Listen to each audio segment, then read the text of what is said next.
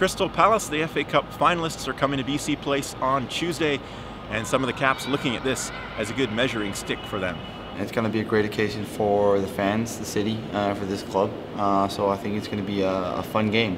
Uh, we'll see uh, what happens, uh, who plays on Tuesday, but whoever gets in there, uh, it's going to be a great occasion, and hopefully we can can put on a good performance against a strong EPL side. Oh, it's massive. I mean, they, they come over here and it's not.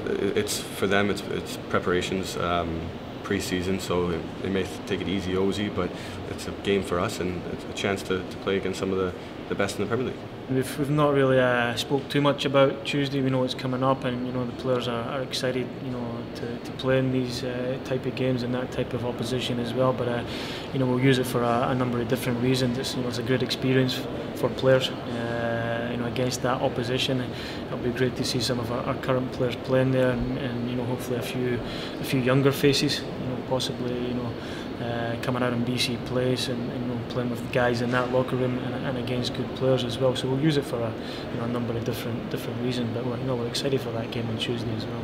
It'll be quite the experience. You know, for, for me, I've never got had the opportunity to do something like that. So um, if I get the opportunity to play in that game, then it'll be something that I'll definitely remember. And obviously, you want to try to make the most of that kind of an opportunity. Most of the guys, they want to compare themselves uh, with the level uh, from Europe, and uh, especially uh, a big, uh, big team as Crystal uh, comes to play. You want to give your best, and I think we got a lot of young guys, and you never know what happens if they do well. And so I think a lot of eyes will be on that game. So yeah, it's a great, great opportunity for everybody.